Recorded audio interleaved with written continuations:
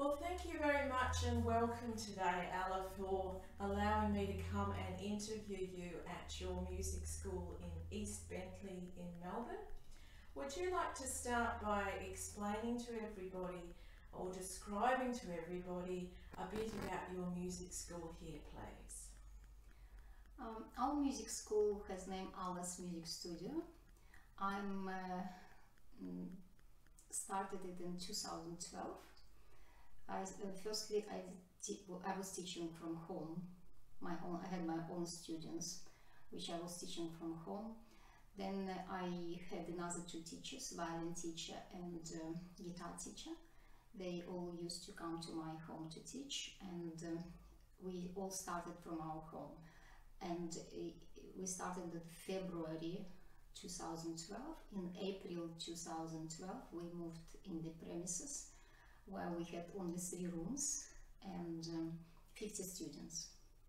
That was in 2012 April, and then by August we expanded to uh, we built another three rooms, uh. By the end of the year 2012, we had uh, around four, seven rooms altogether in the shop, and uh, more students, around 90 students then 120 by the end of the year, and uh, more teachers.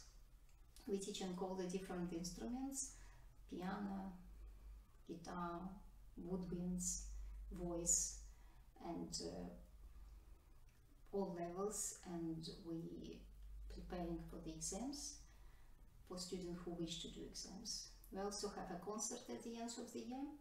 Once a year we taking our students outside of the shop we are renting Kingston Art Center Hall or McKinnon Secondary College Hall and we offering them to perform at school concert.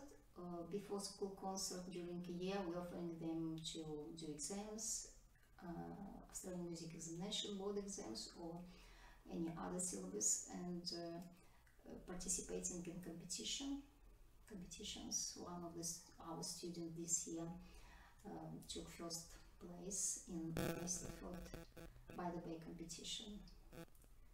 Yes. Fantastic. So, what sort of format do your lessons take? Are they all individual one on one lessons or do you offer any other sorts of classes?